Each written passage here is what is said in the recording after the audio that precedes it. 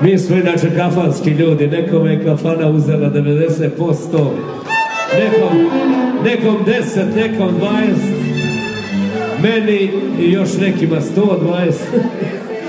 Lagani sa, amol, ajde. Kao gori more, daj pas, ajde. Idemo! Pozdrav iz Saranđelovca,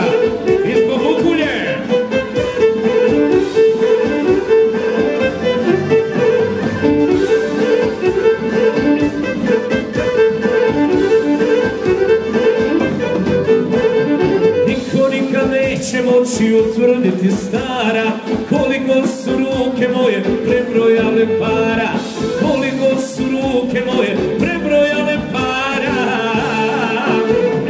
90% uzela kafana A ostali deset trošim ovih dana. 90% uzela kafana A ostali deset rulet ovih dana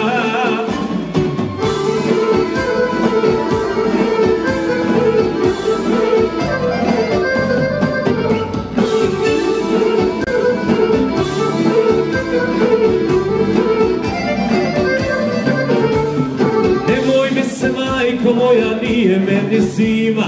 Što i više trošim, sve i više ima. Što i više trošim, sve i više ima. 90% uzela kampana A ostali 10 trošim ovih dana.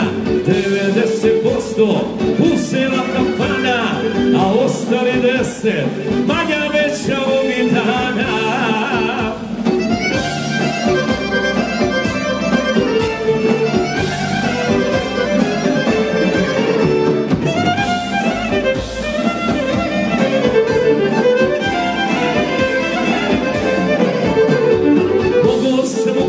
u knjigu Guinnessovu ući Koliko sam puta trezan došao kući.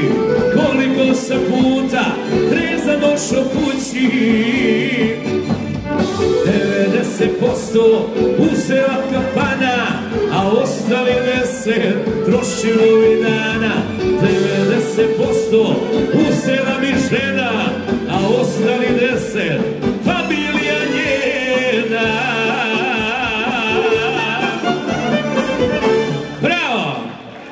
Cały czas.